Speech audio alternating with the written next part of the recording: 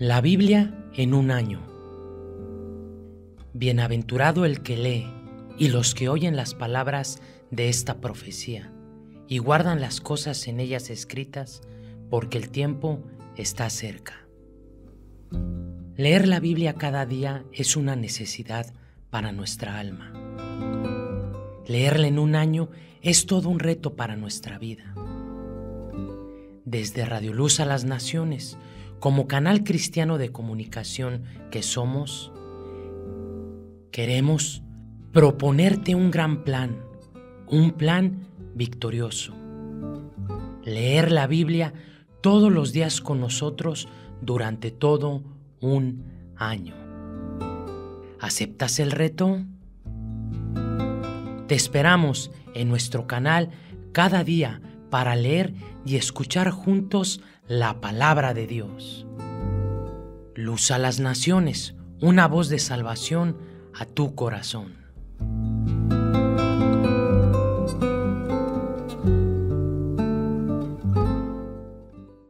Salmo 131 Jehová, no se ha envanecido mi corazón, ni mis ojos se enaltecieron, ni anduve en grandezas, ni en cosas demasiado sublimes para mí en verdad que me he comportado y he acallado mi alma como un niño destetado de su madre, como un niño destetado está mi alma.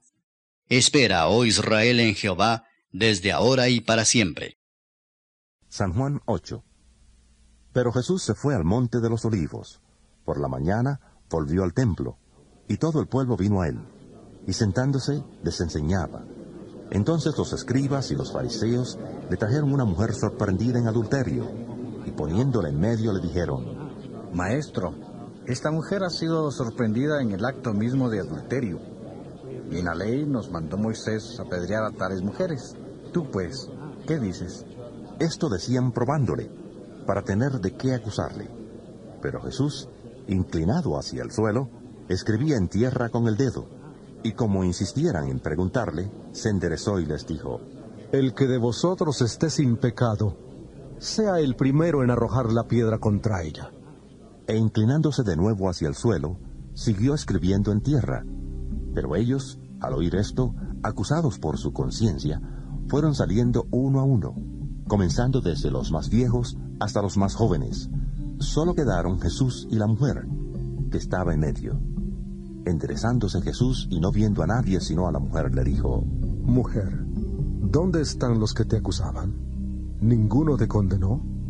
Ella dijo, Ninguno, Señor. Entonces Jesús le dijo, Ni yo te condeno. Vete y no peques más.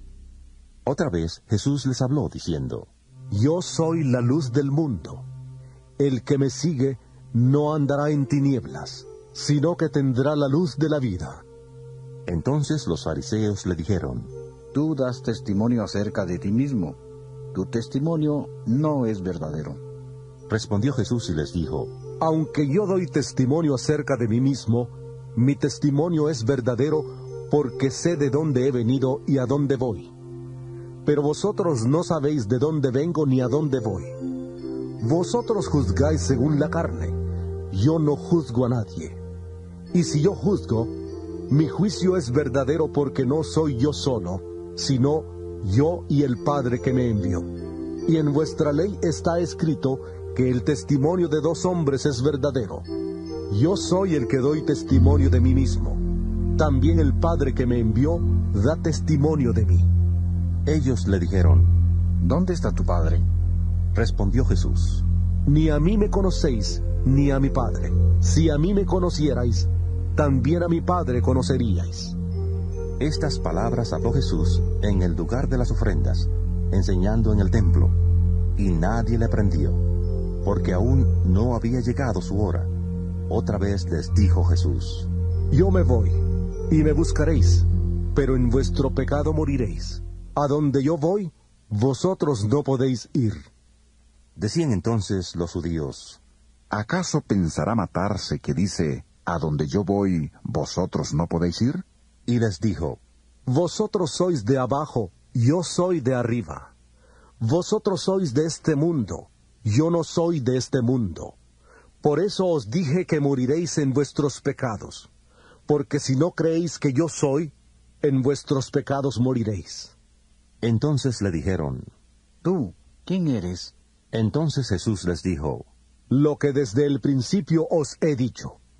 Muchas cosas tengo que decir y juzgar de vosotros.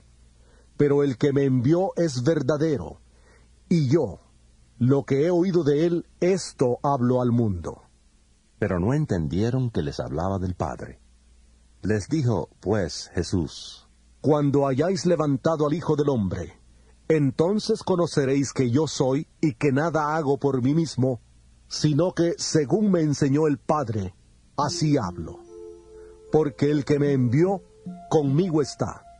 No me ha dejado solo el Padre, porque yo hago siempre lo que le agrada. Al hablar él estas cosas, muchos creyeron en él. Dijo entonces Jesús a los judíos que habían creído en él, Si vosotros permanecéis en mi palabra, seréis verdaderamente mis discípulos, y conoceréis la verdad, y la verdad os hará libres. Les respondieron, Descendientes de Abraham somos, y jamás hemos sido esclavos de nadie. ¿Cómo dices tú seréis libres?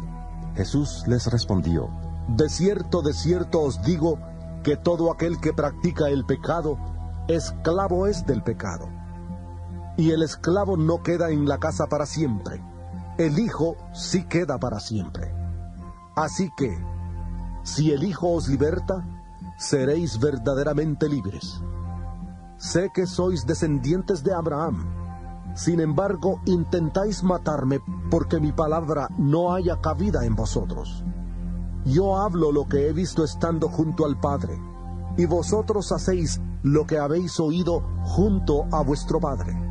Respondieron y le dijeron, Nuestro padre es Abraham. Jesús les dijo, Si fuerais hijos de Abraham, las obras de Abraham haríais. Pero ahora intentáis matarme a mí que os he hablado la verdad, la cual he oído de Dios. No hizo esto Abraham.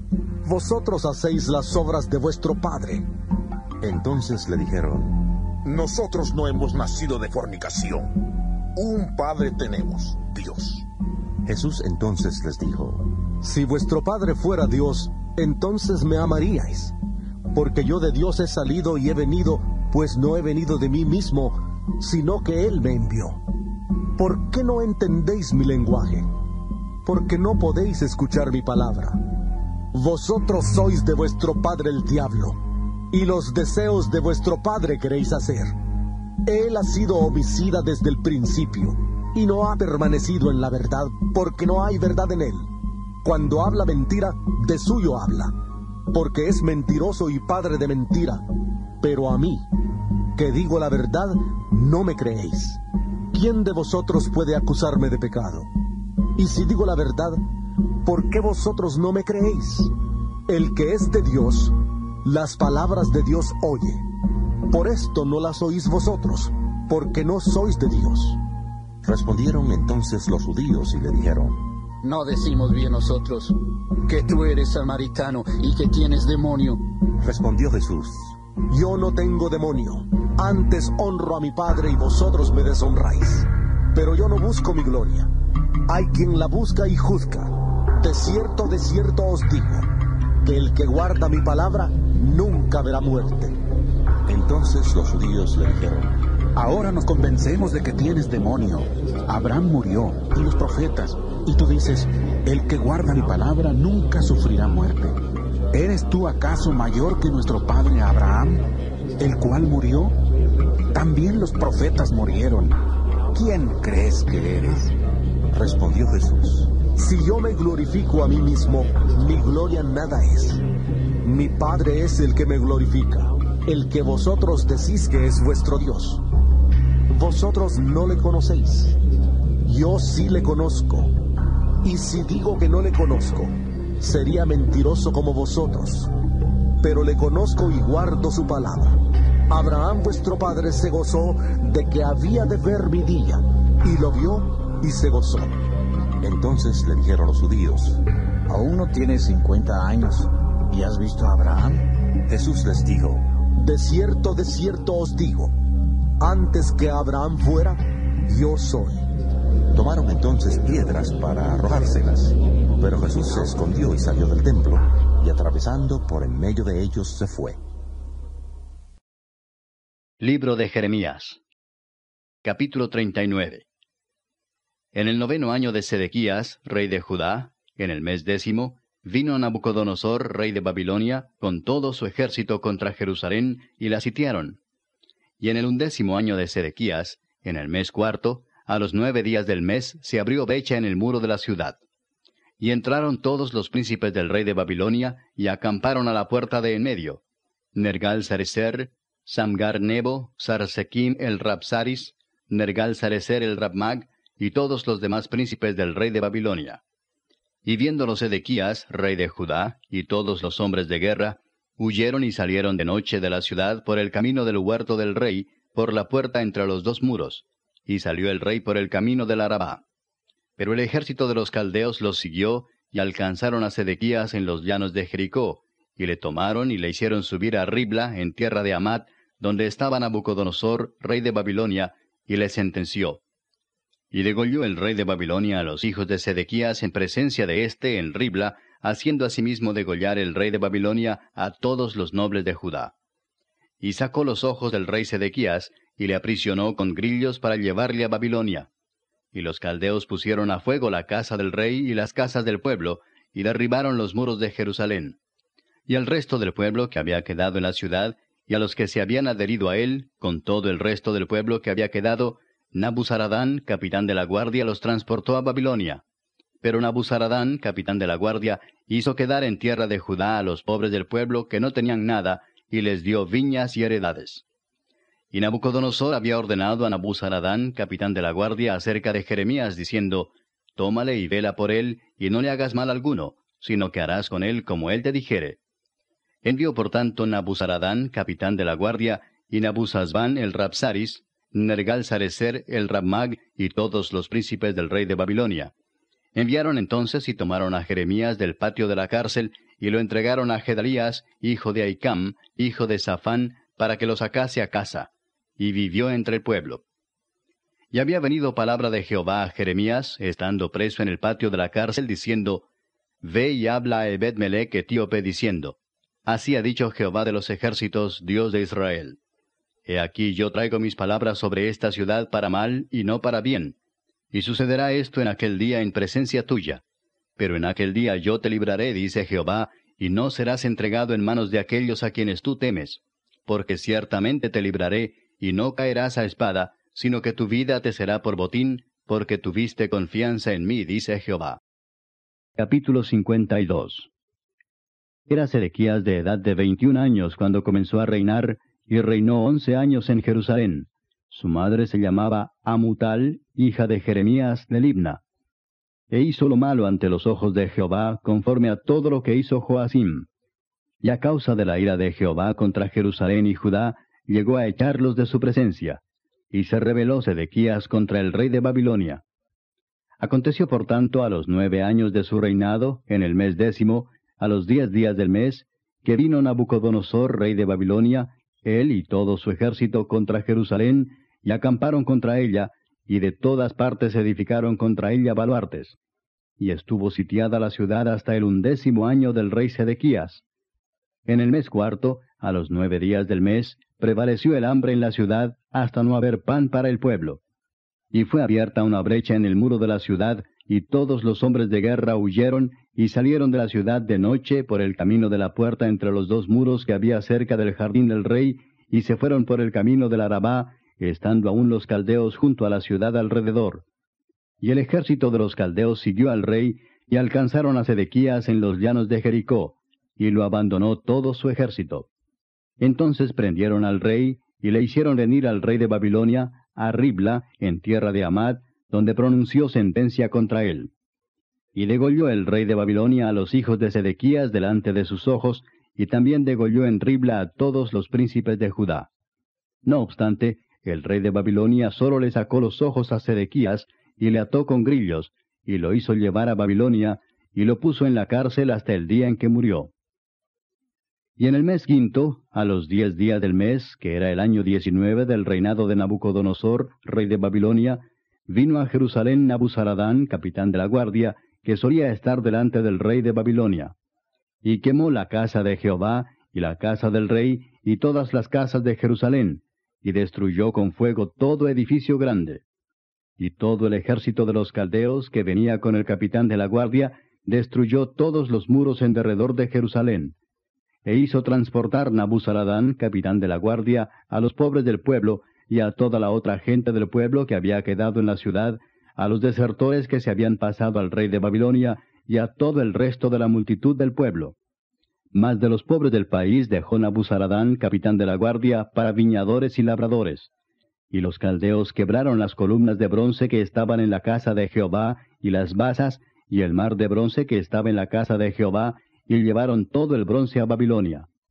Se llevaron también los caldeos, las palas, las despabiladeras, los tazones, las cucharas, y todos los utensilios de bronce con que se ministraba, y los incensarios, tazones, copas, ollas, candeleros, escudillas y tazas.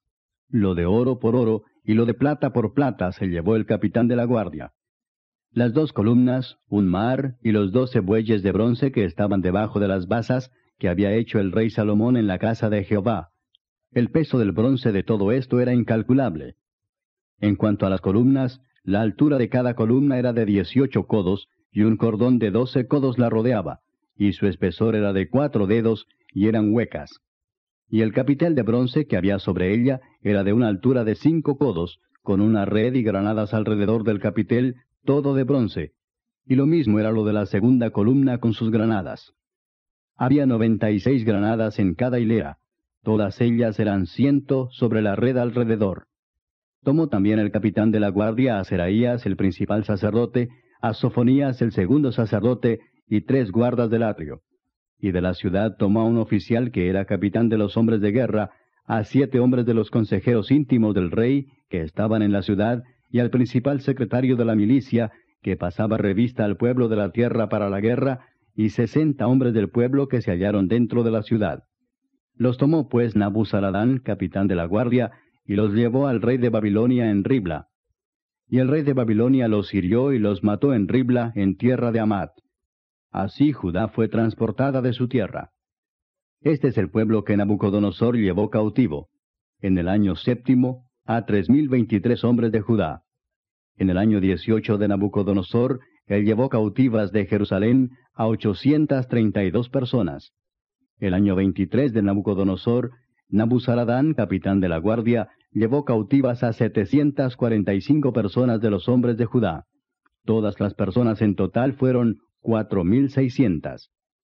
Y sucedió que en el año treinta y siete del cautiverio de Joaquín, rey de Judá, en el mes duodécimo, a los veinticinco días del mes, Evil Merodac, rey de Babilonia, en el año primero de su reinado, alzó la cabeza de Joaquín, rey de Judá, y lo sacó de la cárcel, y habló con él amigablemente, e hizo poner su trono sobre los tronos de los reyes que estaban con él en Babilonia.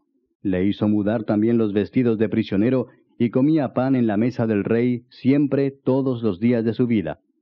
Y continuamente se le daba una ración de parte del rey de Babilonia cada día durante todos los días de su vida hasta el día de su muerte.